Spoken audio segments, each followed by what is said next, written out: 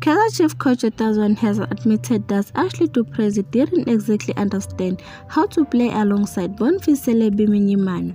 He said we had to change, we had to put everyone forward and have Caleb up front. I don't think Ashley understood what we wanted him to do.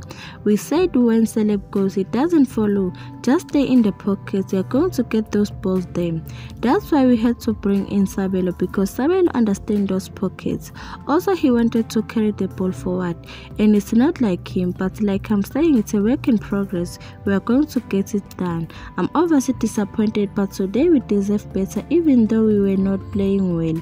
But we should have done better in terms of converting those. We didn't have clear cut chances but we had numbers inside the box. We just had to pick one and score.